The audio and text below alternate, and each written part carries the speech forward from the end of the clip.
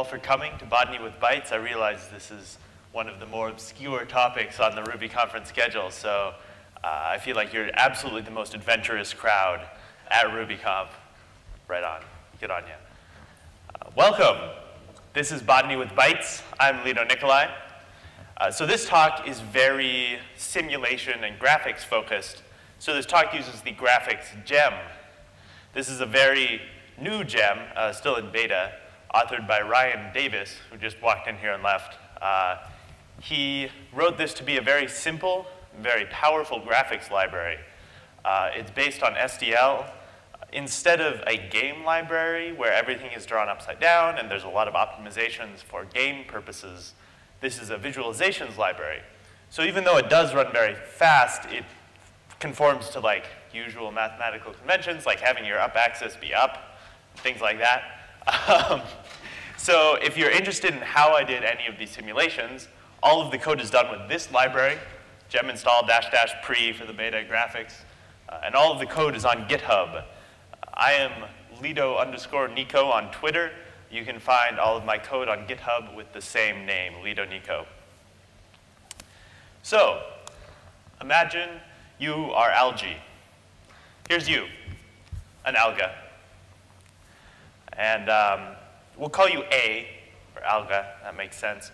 And you are going to do what algae do, which is make more algae through a process called mitosis, uh, which is a fancy way of saying cell division. Uh, once you're done, you'll be the proud parent of a baby alga, which we'll call B for baby. Uh, and this process will keep going. Like you'll keep splitting off, your little baby alga will grow up. So you have alga, baby, alga. And so on and so on and so on. You know, each alga will split, each baby will grow up. And I'm just going to start representing these things with letters so I don't have to keep drawing them. Uh, you know, alga, alga baby, alga baby, alga.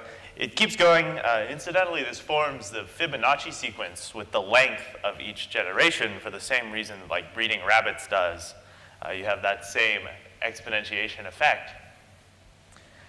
So this process was first described by Aristid Lindenmayer, who was a human and not a plant. Uh, he was a botanist, uh, and he called these uh, systems of generation L systems after himself. Uh, they're very simple. They consist of a start, like a single alga, and a set of rules, like one alga becomes an alga and a baby. A baby grows up into a full-sized alga. So let's talk about computers for a minute. You might recognize this as something that we come up across in our day-to-day -day computer science lives as a rewriting system. We know these from the game of life, which rewrites a grid. Each cell gets rewritten based on the structures around it. Uh, or the famous Koch snowflake fractal. Uh, each line gets rewritten with a line segment with a triangle, and so on and so on. This is a string rewriting system. So this is a pretty solid indication this is a grammar. But what is a grammar? A grammar is what strings or grids or lines or things, you know, you can do it in any dimension you'd please, can you make with rules? Those rules can be of any form, whether it's uh, kind of the geometric, these grid shapes mapped to these cells in the game of life. They can be uh, like our L systems. You have an alga that is splitting and a, a baby alga that's growing up. Uh, and that is the definition of a grammar. I know that seems absurdly broad. I'm going to flip that around to something we're a little more familiar with as programmers. Uh, what strings can you match with rules? Like here's a regular expression. What strings does it match? Bet you guys didn't know you were getting a pop quiz, right? don't, don't even worry about it. Um, so when we talk about grammars, it'd be nice to be able to know where L systems fit in here and to organize grammars in a broader context. And to do that, we will use computers to organize our grammars. Now, we know regular expressions fairly well.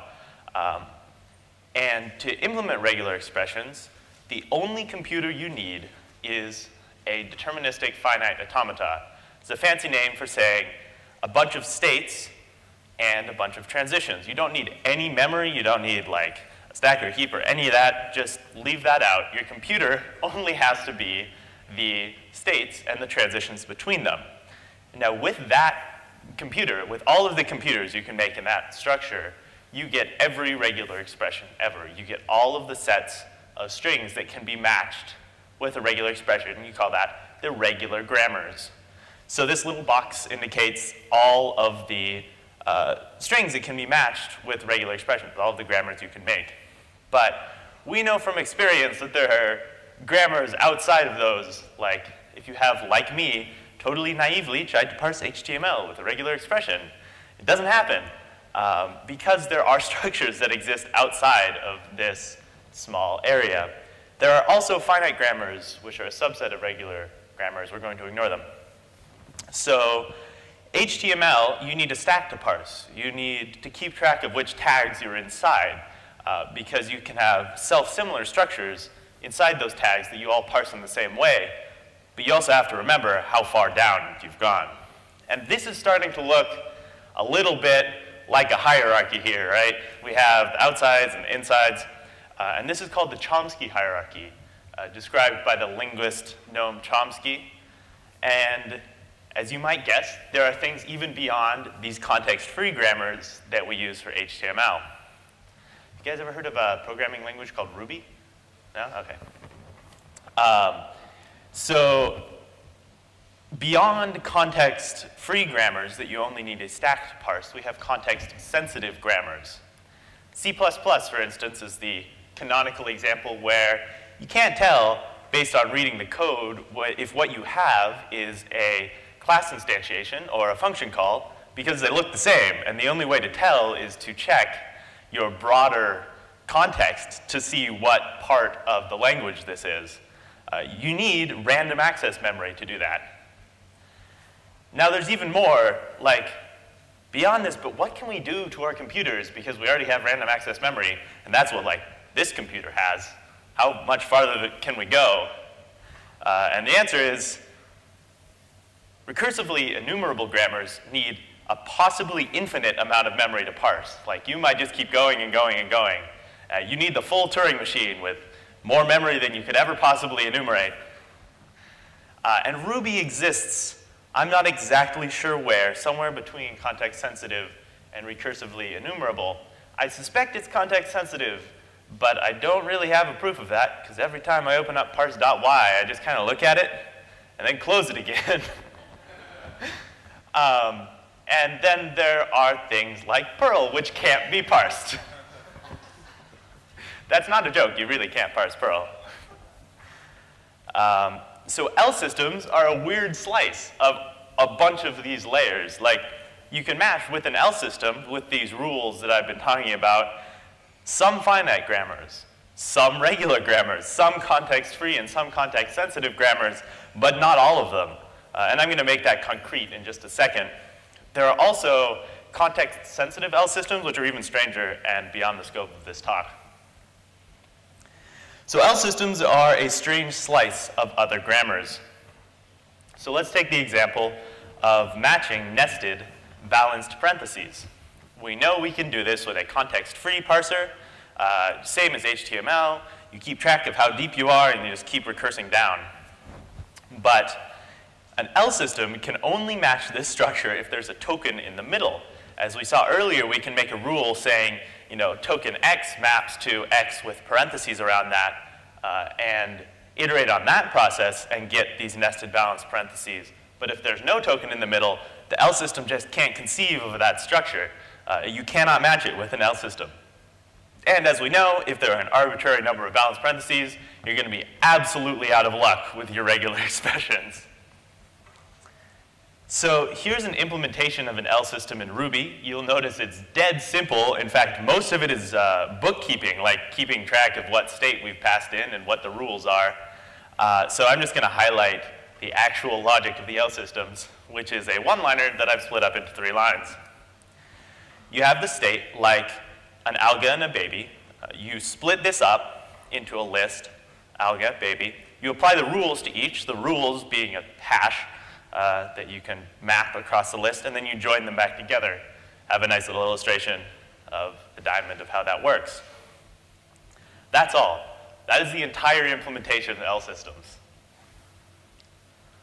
So you can throw this into a console, and it definitely works. I've tried it.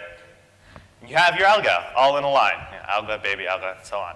But what I really want, my goal for this talk, is more dimensions. So since we're talking about plants, how about a sprout? Uh, here we have a simple L system describing a sprout. We can do this in two rules only.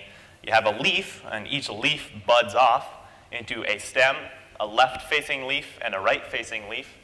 And each stem simply grows longer every generation. Now, we've been drawing alga all in a line, representing that with a string, and now we need some kind of way to draw things in two dimensions because we have left leaves and right leaves, uh, and we're going to end up with a two-dimensional image. So to do that, we'll introduce turtle graphics. You guys ever played around with turtle graphics? Uh, the logo programming language maybe you were introduced to as a, as a kid. The idea is you have a turtle, and you can command this turtle. You have control of this turtle, and you can tell the turtle to do things like move forward, and the turtle will move forward and draw as it goes. You can say, save our current position, push that onto a stack. Uh, turn left any number of uh, degrees, move forward, and then you can recall the previous position and zip back to that. So how a turtle evaluates a string, I'm just going to give a really quick example. Uh, you provide the turtle with a string, that's the S, left bracket S up at the top, and a set of rules for what the turtle can do. Uh, in my implementation in Ruby, these are all symbols or a list with the turn and the number of degrees. So when you see a stem, in this case, move forward. When you see an L, move forward. If you see a left bracket, turn left. So as the turtle evaluates, it'll simply go, I see an S, I will move forward. See a left bracket, I will turn left 60 degrees. I see another S, I'll move forward. Clear?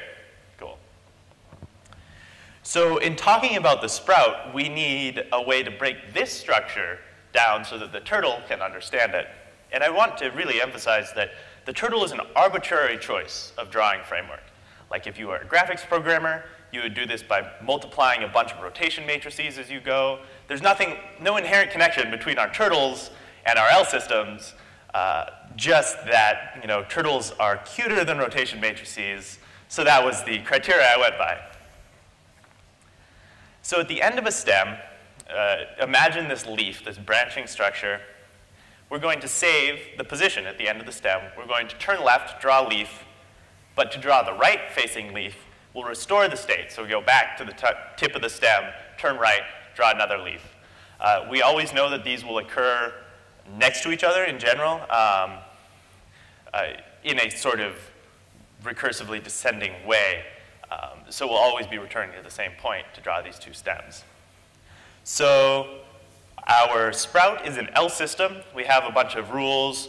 Uh, this is just writing in a very terse sort of way the rules I just described with the left leaf and the right leaf and the stem. Uh, and then we make a new turtle with the current state of the sprout, and we tell the turtle what each symbol in the L system means. So the first generation is boring. It's a leaf and, you know, whatever. Second generation, also boring. It's the same thing we started out with, right? But the next generation is interesting. And I'm going to run through it just to make sure uh, we're solid on how these L systems evaluate. A stem, a stem, we're saving the position at the tip of this stem, turn left, another stem, save the position again on the stack, turn left, finally draw a leaf, then recall back to where we were before, turn right, draw a leaf. You I think you guys get the idea, right? So trees don't actually look like this, right? At least that's what I used to say when I gave this presentation. It turns out that there are plants that look like this. Here's a Drosera binata. Uh, this is an ancient carnivorous plant. Uh, still around today. You can find it, I think, in the wilds of Washington State. Um, that really looks like that. It has that exact branching structure, like each angle 60 degrees. It's crazy. But aside from these carnivorous plants that exist in a tiny region of the world, trees maybe don't look like that in general. So let's model an actual tree, like a juniper branch. Now, this looks complicated, but it's the same thing we were talking about before. You start with a twig, T, and you map that to a structure. Now, that long string just really means this image, right? Each twig becomes this branch each time we evaluate it. And so here's the animation of the turtle executing. And when we're done, we have something that looks like this, which is a pretty good approximation of what a juniper branch actually looks like. Now, juniper branches are a little more complicated. Uh, each twig has a different length depending on how long it's been growing. This is a really good approximation, especially with just a turtle, right? So we've talked about how L systems are grammars and that you need a computer to evaluate these grammars. So as the plant itself is growing and evaluating, this is the plant running a computation as it grows. I think that is super neato. You can also do weirder non-organic stuff with L systems. Uh, like here's a fun Sierpinski's triangle. Uh, you like really weird stuff, there be dragons. So now let's take a different view of the growing stem of a plant we're going to go from top down, We're going to slice right across the tip of the plant's stem as the leaves bud off from the center. So in this area of the plant, which is called the meristem, we have a area filled with plant growth hormone and nutrients and all sorts of things that leaves really like. Now, as a leaf grows, it'll greedily suck up everything around that area and then head out from the center in search of more plant growth hormone. Now, the next leaf budding off into the center will be budding into an area that doesn't have as much growth hormone. It will set off in a different direction in search of more growth hormone, and so will the next leaf. Now, I want to model this. I want to have my plant sprouting leaves, but actually implementing this would kind of suck, right? um, I don't even want to think about the exact time complexity and the time complexity doesn't really matter. I'm more using time complexity uh, as a way to describe code suck here, right? We really don't want to implement that. We can do better. So here's the very first model of how humans understood how plants grow. Uh, this was discovered at Cambridge in, I think, the 1950s or so. And that model was charged particles. Now, particles, uh, little drops of uh, fluid filled with iron shavings or something like that, all have the same electric charge and will repel from each other uh, because of electromagnetism. And this happens in, like, you can actually run this experiment and get, as you drop drops of uh, charged fluid onto an electric plate, uh, they will spread out in the same pattern that uh, leaves grow on the tip of a plant, these kind of characteristic spirals. That's really neat. Like, that's a pretty good approximation, we know. And we can implement that with some drawings here with the graphics library I've been talking about, where each particle moves away according to the laws of electric repulsion. And you'll see, after a while, it starts to vaguely form these spirals. Now, the time complexity is O of n squared. Codes suck about the same. We're not going to worry about uh, optimizations there, like no quad trees for this. Don't even worry about it. Uh, by the way, that was Alan Turing's model. He was the first person to describe this. Uh, in the general case, he called this the hypothesis of general phyllotaxis, which, is me, which means my idea of how leaves grow. Uh, and then he later refined that to be an even more accurate model. Uh, it's interesting that it's Turing that made this first model because the mathematics is very similar to the mathematics of actually parsing computer languages, right? And Turing devised a closed form solution. Like he didn't run the simulation like I just did and measure things. Uh, he figured it out drawing in his notebook. Like here's his drawing in his own notebook of how plants grow around the meristem. And we can notice, as Turing noticed, that each leaf sets off at a very specific angle to the previous leaf. Like that holds all the way around the circle. This is about 137.5 degrees, uh, and if you're Turing, you derive the closed form solution of that, which is the golden angle, uh, 360 degrees over phi, uh, but the opposite side of the circle from that. So now that we know this closed form solution, now that we know the exact angle that each leaf sets off from the previous one, we can build an L system out of it, right? In this case, the rotation, you have a stem, you rotate it and grow a new leaf, the rotation is going to be 137.5-ish degrees. So we can implement that and, and boom, artichokes. So the time complexity of this is fine. it's like, uh, you know, you simulate it once, right? It's O of 1 or whatever L systems are, the linear. Um, so that's great.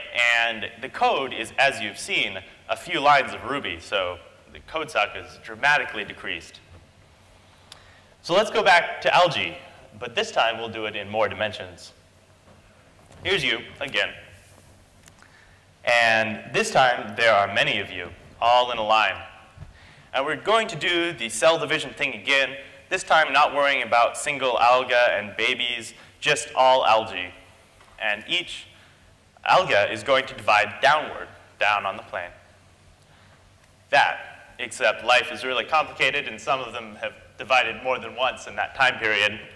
And uh, this process will keep going, where some of them are going to be a little more enthusiastic and divide multiple times.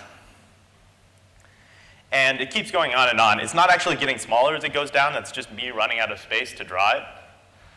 Uh, and as an aside, we're going to represent these cells. I've been representing them as dots with little smiley faces inside them. But actually, as they grow, they push up against one another in this sort of form where uh, we end up with a whole bunch of polygons at the boundaries between cells. I'm going to flip that around. Um, so the red lines are the cell boundaries. We can make that much simpler by just connecting the centers of the cells. We put a point in the middle of each cell and connect across each edge with a line. This is called taking the dual of a graph, uh, and it's the same information, it's just fewer vertices, fewer edges to keep track of, much simpler. Now in this case, I can draw that. We'll draw each line uh, connecting the center of each alga, uh, and then we take away the illustrations, and we're just left with this graph. It's much easier for us to deal with as computer scientists. So as we simulate this, I mentioned that things are not actually getting smaller as they go down, but they are, you'll notice, getting more packed tightly. But we know that the cells are all about the same size and squished up against each other, so I want to simulate what happens when these cells all squish together in that way uh, using the well-known Unix command jellyfish. This is what happens. You can see from the top of the screen down, uh, all of these vertices all connected with the lines, which means there's an edge between the cells. This ruffles out into three dimensions into this kind of jellyfish tentacle-like shape. It's the same structure as jellyfish tentacles, that's why I call it that.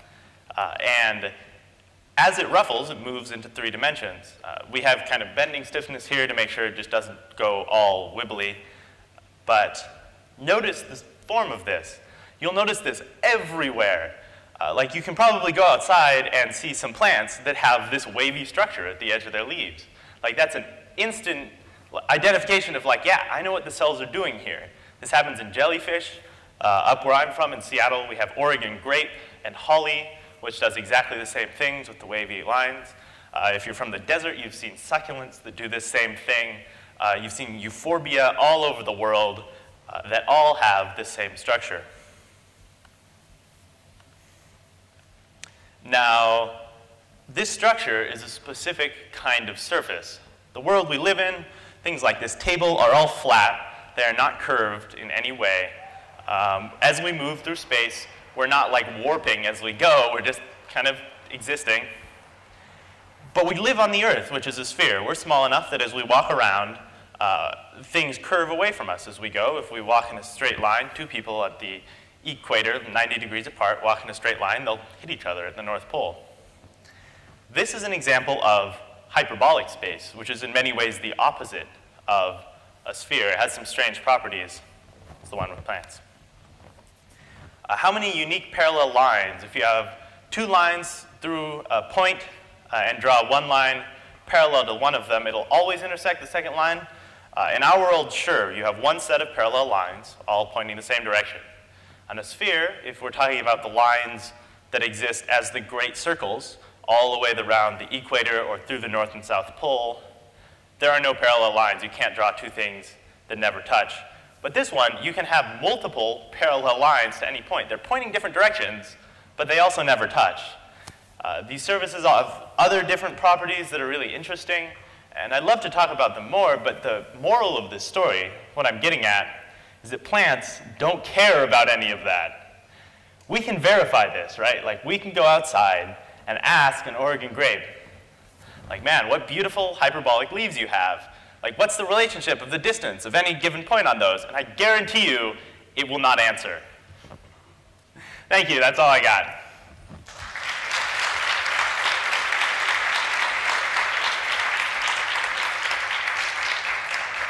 We have a bunch of time for questions. Yes, in the back. Uh, the question is, can I think, off the top, I guess, about any kind of application uh, for these services, given that we use nature a lot in inspiring our designs. Uh, one of the reasons that this hyperbolic structure occurs a lot in nature is that it's surface area maximizing. So that's a pretty solid example of something you might uh, conceive of it being used for. To my knowledge, it's never actually been used, uh, but it occurs not randomly, but because it serves a specific, specific purpose, and nature selects for things that do things like that. Uh, this is how I started programming. I uh, was an illustrator. I was trying to draw, or trying to sculpt in a 3D modeling program, a model of a jellyfish. And I couldn't, for the life of me, get all the tentacles right because they're really complicated. And I thought to myself, I bet I could get a computer to do that. And it turns out you can. Right. Uh, well, we had a talk earlier this RubyConf by Singwei, Wave, maybe? uh, about parsing Ruby. Uh, if you haven't seen that, go back and watch it on Confreaks, and you'll get a better understanding of formal parsing theory. There's a lot of things you can look up from there. This is a huge field. Um, I, the question was, like, how do I get a formal background in this? I don't even know where to begin. Like, uh, there's so many uh, aspects of what I've talked about. Like, what are you interested in specifically? Anything, all right. Um, you can read Turing's papers. They're all available. A lot of the papers that Turing wrote in the last few years of his life dealt with stuff like, dealt with stuff like this. Uh, there's one really interesting one about the patterns that appear on the faces of fish uh, from a similar, like, uh, biologically motivated example. There's all of his papers on the growth of leaves, that kind of stuff. If you're comfortable uh, with the very formal math side of things, that's where I would start. No, all right, thank you very much.